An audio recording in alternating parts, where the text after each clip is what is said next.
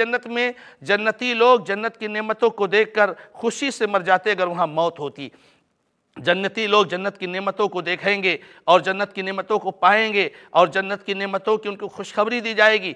इतना खुश हो जाएँगे, इतना खुश हो जाएँगे कि अगर वहाँ मौत होती तो खुशी में जन्नती लोग मर जाते। अल्लाह के नबी अलैहिस्सलाम ने फरमाया, क़यामत के रोज़ मौत एक चित्र कपड़े मेढे की शक्ल में जन्नत और जहन्नम के दरमियान खड़ी की जाएगी।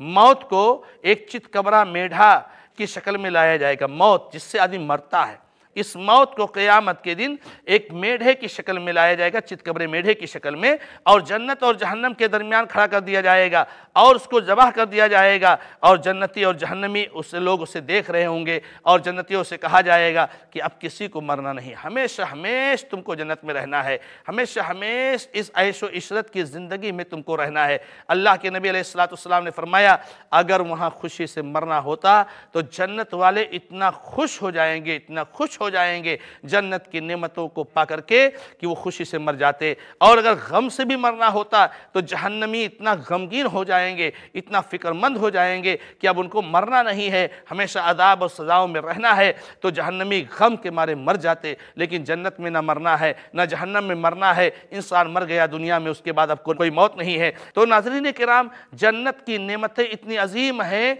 कि उसको पा करके जन्नती इतने खुश हो जाएँगे कि अगर वहाँ मौत होती होती तो खुशी से मर जाते। ऐसे ही और वीडियोस बनाने में हमारी मदद करें।